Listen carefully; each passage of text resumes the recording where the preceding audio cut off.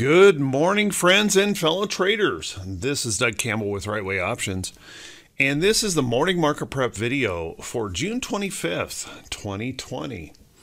So, yesterday we saw those bears reemerge as we started to become concerned once again about the coronavirus uh, that is spiking around the country. As a matter of fact, they are, well, at the end of the day yesterday, they reported over three, 35,000 new cases were reported.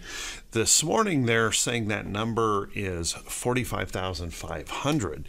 So I don't know which number is correct, but certainly a tremendous spike. One is the a one is a record high of infections. Um, one is the second uh, to the closest record high. So um, let's just say it's not good um, overall. So as this coronavirus spikes back up, there's some issues uh, beginning to brew out there, and certainly some concern here in the market. Um, what does that mean for today? Well, how about we just kind of buckle up, get ready for another day of volatility, and let's prepare for the Thursday edition of the Morning Market Prep video. So this morning, everyone, we've got kind of a, a an uncertain situation. We have uh, uh, virus numbers spiking. We have a presidential election that is starting to sway to uh, to the Biden pre- presidency, which uh, may not be favorable for the market. And we're starting to see those bears stir around here. And it also happens to be that period of time where we may be reaching the end of the quarter and after an extraordinary rally, we could be seeing institutions, 401k plans, things like that, trying to rebalance, shift things around, and um, could be a, a move toward a little bit more safety. Kind of an interesting situation that we face here, and certainly volatility has raised its ugly head again. So let's take a look at what that means technically in the charts. Well, when I take a look at the diamonds, one of the first things I want to point out here and, and see is that we created a lower high and we also created a lower low yesterday. So even though that's just a marginal lower high, um, there are some um, concerns with that. We are currently um, in a downtrend. However, on the longer term, we're just right now down here testing the uptrend here in the Dow. So this is one of those charts that could really go either direction. And I'll tell you this, that I don't think we're going to see major selling unless we break down below this low here. If we start cracking down below there, we could have some problems in the market and really see sellers coming in strong. Let's take a look. Right now this morning we're looking at a very small gap down. We may test the low of yesterday at the open. And we have a big day of data that could move us around a little bit as well. So are things bad? Well, we have some concerns there, but we certainly um, also have some positives that we might be able to hang our hat on. And I don't suspect the bulls are going to give up easily. They have been able to manipulate the market higher by really pressing the big five. And even here in the Dow, if they can move Apple and Amazon or Apple and Microsoft higher, we have the potential that the Dow could find some support right in here. So let's keep an eye on that. We I don't think we're going to see any significant sell-off until we start to see some significant profit taking in those big five companies Apple, Microsoft, Google, um, Facebook um, and Amazon, if we start seeing some profit taking coming in those, and that NASDAQ, which has been leading the market to new record highs, um, if they start selling, we could have a significant profit taking sell off. So watch this carefully. Let's take a look at our moving averages here really quickly.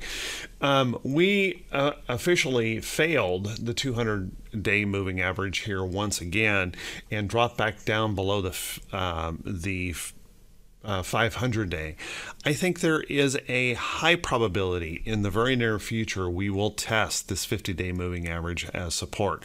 The question is going to be will we hold it or will we drop through? And that will be that will be the question that we'll have to address. But um, I suspect we're going to see that 50 day moving average here in the near future.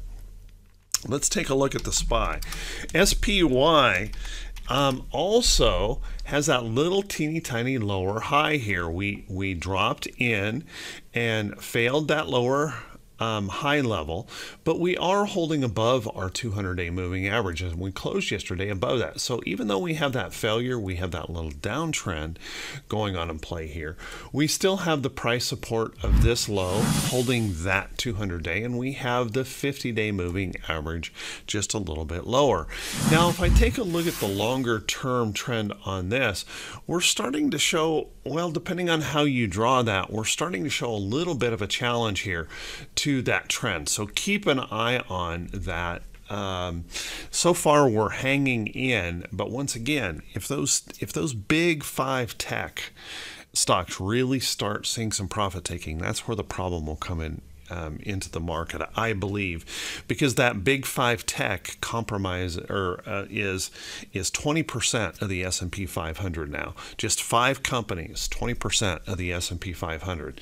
So if they start to sell off, we could see some problems here. Now, I fully suspect that we um, are going to test that 50-day moving average here in the near future. So let's watch that close.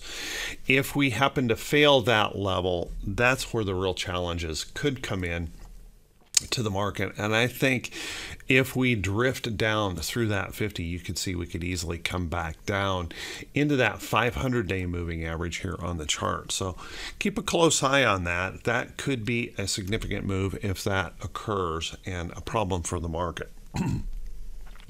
Let's take a look at the Qs. Now, the QQQ is what has been the market leader here, and we're holding well above um, this breakout support level, so no particular worries there. But what we did do um, is we left behind this evening star pattern. That is a reversal pattern here the, for the market, but you also have to look at the fact that we managed to hold above this little support area of that consolidation. So, so far, not a, a devastating blow by any means, but we do have that little warning of that bearish or that bearish pattern, which is that evening star pattern at a high. So let's watch that close. Follow through selling, if we were to break this support and really start pushing down, that would be a problem, but I don't think we're going to get into a real critical situation unless we fail this breakout high. If we pull back in the Qs and hold on to that, I think we're in good shape. But if we fail that breakout high, watch for a quick test of that 50 day moving average if that were to occur. Let's take a look at IWM. IWM also um, struggling here. As you can see, we failed at the 500 day, we failed at the 200 day, and this little rally back right in here just couldn't get her done. And now we've made a lower low here on that move. So here again, we are in that situation where our longer term trend is still trying to hang on and we're that's why I said I don't, I don't expect those bear or bulls to give up easily here. We're trying to hold on, even though we are getting a little bit of gap down this morning. And I think we run the risk here in IWM probably faster than the other indexes of a test of that 50 day moving average and this little support level. I think that could come pretty quickly. IWM has been really underloved and um, can could draw us or even pull us down into that area. So watch that closely. Let's take a look at the VIX. And this is where uh, we have that concern coming in where we're, we're starting to fire up on that fear again, that uncertainty in the market.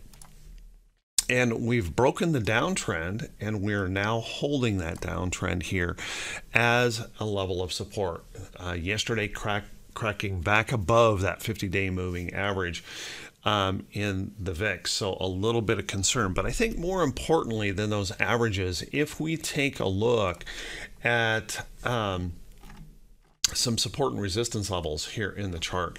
We are still holding below this little resistance level that I've got drawn in here on the chart. We're holding below that, but we're still hanging on to this higher low. So I don't think we got a, a really great indication of a huge um, fear spike just yet, but it could come at any time. So if we can, if we hold that higher low, there's that possibility, guys, that we could consolidate in this little area. And it's only going to be if that fear really cranks up, if we really see those virus numbers start to affect the psychology of the market, then we could see that fear really begin to break out of that level. So let's watch that close. Let's take a look at T2122. T2122 is the four week new high, new low ratio. And yesterday, that four week new high, new low ratio uh, zoomed all the way down here into the bearish reversal zone. That gives us some hope, anyway, of a bounce back. so we may get a gap down this morning. Right now, Dow futures are down 244 points. So we're going to get that gap down, it looks like this morning, depending on how all of these um, economic reports come in. But um, that gives us that indication that we could find those buyers here um, after that point and start rallying back up. But remember, we have seen those times, and it wasn't that long ago. This was the virus situation that created this, where we went down here, bounced up slightly, and then we came back down here and stayed here for a while. So keep that in mind. We could see that bounce come up, but that doesn't mean a rally all the way back up. Just a little bit of a relief to uh, to squeeze out some of those short traders um, and have some short profit taking come in, and then we could turn and come right back down into this area. So keep that in mind. A little bit of concern going on here in the market. Let's take a look at. Um, um, our economic calendar for today, and we do have a very, very busy economic calendar today that could move us around significantly. What's been interesting about the economic calendar is we have been able to literally ignore any bad news in the market. So perhaps we do the same thing um, uh, today. We just ignore. But I think with the COVID thing spiking up, any bad news could be um, a problem for the market. So we've got durable goods now. Durable goods consensus is expecting a big increase um, over last month. So watch that closely. Unfortunately, GDP is not looking for much of an improvement um, in the consensus numbers. So let's watch that. If it does happen to improve, the market will re probably respond bullishly to that. If it if it slips a little worse, that could be a problem. International trading goods, kind of expecting a, a mediocre to not so good, maybe a little tiny improvement in um, international trading goods. And then we have that pesky jobless claims. They're expecting about 1.3 million people filed for unemployment. Remember, they were expecting that last week as well, and it actually bumped up to 1.5, and the market didn't like that very much. So let's watch that. If we get an improvement, improvement over that 1.3, we could be in pretty good shape. Let's keep in mind after that point, we have several Fed speakers, we have a natural gas report. I don't expect too much of this to move the market around, and then later on today, the Fed balance sheet. So, something to watch for, but a busy day on that economic calendar to uh, make note of. And then, if we take a look at our earnings calendar, we have our biggest day of earnings today um, this week. Tomorrow it drops to eight. Today we have, um, what was that number again? We have about 26 companies reporting and a few notables here uh, to pay attention to. Let's take a look. Uh, Darden Restaurants, uh, DRI, will be reporting this morning. Looks like they're maybe moving up just slightly here this morning. Um, so take a look at Darden. Now, one thing I would say is we have broken the uptrend here and we are still in a downtrend. So we're going to need some kind of good push to break that break that downtrend um, as resistance. So keep an eye on Darden um, out there. We have FDS. FDS um, could be reporting today. So keep an eye on, uh, will be reporting today. Keep an eye on this. We've had some kind of technical breakdowns here with a lower high pattern here on that chart, but certainly something to watch around an earnings event. Um, MKC, a good old defensive sector stock, um, McCormick. And it looks like McCormick is trying to move a little bit higher here this morning. Here's that downtrend. And in that chart, we have a significant level of support right in here. And if we push off of that, that defensive sector stock may be a place to look in this turmoil in the market. Keep in mind, it has a pretty decent dividend yield, so might be something to keep an eye on. RAD, RAD is also reporting this morning. Looks like it's gapping significantly higher here this morning. Um, that will break its downtrend. And if it can hold above that downtrend, there may set up an opportunity here for a higher low and an uptrend to resume in Rite Aid. And the last one I'm going to talk about this morning is Nike. Nike will be reporting today. We'll want to keep an eye on that. Nike's been challenged by this major resistance up here, struggling along. So we need a good report here in Nike to maybe push us out. Otherwise, we might see Nike slip just a little bit. And right here, uh, Nike's indicating um, maybe just a tiny, tiny bit higher this morning. So, with that, everyone, hey, I want to wish you all a fantastic day in your trading, and I want to wish you great profits. And if this is the first time you've seen these videos, if you could do me a favor, if you could click that subscribe button on YouTube, and then also click that bell icon when it pops up. And if you feel the video was at all worthy, click those thumbs up buttons and leave a brief comment. And I just want to say thank you so much to those of you who do that. You're continuing to have this channel grow, and I'm truly, truly humbled by that. Thank you very much. You guys are awesome. You know, the purpose of this channel, the whole purpose of this channel is just traders helping traders. Um, no hype, no prediction, just really taking a look at the price action, the technicals, and how we may uh, want to approach the day. And if you find that useful, please, please subscribe. I, I truly appreciate it. So with that, let's take a look at some stocks that could be setting up, things we might want to be watching for. But I got to tell you, it's going to be a little bit more challenging today to find those good technical patterns for potential long trades. I don't know that I'd want to chase a short today. I'm chasing a short after uh, a Dow sell-off of 710 points. I'm not sure I'd want to chase a short. Uh, the, um, that might be a little bit of a problem. We probably need to bounce back before we get short. So a few long trades to maybe keep an eye on. BBY, BBY actually held up very, very well yesterday. Um, we tried to break through. You see, I have an alert here. We broke through that. We pulled back here just a little bit yesterday keep an eye on Best Buy. Best Buy is holding up quite well. If there's that possibility that the bulls step in, we may bounce off of that, run up here and attack these all-time highs. And Best Buy, keep an eye on that. It's holding up pretty well. You know, you guys know that I have been a holder of, of gold. Gold um, popped out um, breaking a major resistance and popping up to a new high. And then saw a little bit of pullback yesterday, but I'm holding this as a longer term hold. I just really believe that all of this money printing that we're doing is going to have a negative effect on the market. And so far, that trade has played out exceptionally well. but I I do have this trade hedged with a short call as well up here um, on that position. So right now, as long as we hold above this level of support, I'm good on this trade. And what I would suggest is if you are interested in a trade like this, what you'd want to do is wait until we either pull back and test that trend or consolidate over to the trend and wait for that next entry signal. I would not want to chase. Also want to remind everyone that I am holding this once again, and that means I may have a bias on the trade. So kind of keep that in mind every time I post or show a, um, a chart in these videos, it's not necessarily a recommendation to buy or sell anything.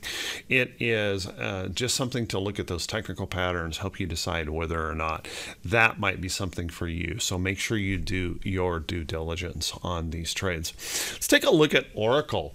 Oracle kind of interesting here. Oracle has broken its downtrend, had a good earnings report, broke its downtrend, and yesterday we pulled back a little bit, kind of responding to the market. But I got to tell you guys, this move here is not an exceptionally strong pullback. So if we can find some price support in here or even off of that downtrend, watch Oracle. There may be an opportunity here. I was watching this for a potential short, but that earnings came in good, popped up, and now we're holding some support levels up here. Might be worth keeping an eye on Oracle. Other places you might look, you might look, um, you know, to silver. Silver pulled back yesterday pretty strong, and it will move more with the market than typically gold will, and that's just because it has more industrial uses than gold does. But keep an eye on silver. If we're going to see precious metals creep up, we might also see silver creep up. If you take a look at copper, COPX, copper miners, they are holding up in a nice, strong trend. And one of the things that may kind of spur this along is if we are going to see these big trillion dollar packages for infrastructure um, investments into the country to try and help stimulate the market a little bit, we could see copper move up because of demand on copper if we do those infrastructure improvements. So keep an eye on uh, that. Another one to maybe watch is this Fastenal. Now, Fastenal struggled here. We could have a double top high here, but yesterday's pullback wasn't extraordinarily strong. If it can find some support in here and bounce back up, it might be worth keeping an eye on. So keep keep that one on your list at least for a while. Let's see where that might go. And if you like tech, you might want to keep a keep an eye on like um, Nvidia. Nvidia pulled back just marginally yesterday. You can see it's been in this really struggling rally going on, but that pullback didn't break any support and it really didn't break the trend. So if the bulls step up here in Nvidia, that might be an opportunity for an entry. So keep a close eye on those. Hey everyone, I want to wish you all a great day. And you know what, these coronavirus numbers um, really starting to spike up. Please please exercise safety. Keep yourself safe. Um, protect your family, protect yourself. And I want to see you right back here, you know, bright and early Friday morning. So uh, stay healthy. Everyone, take care of yourselves. Have a great day, and we'll see you Friday morning. Have a good one.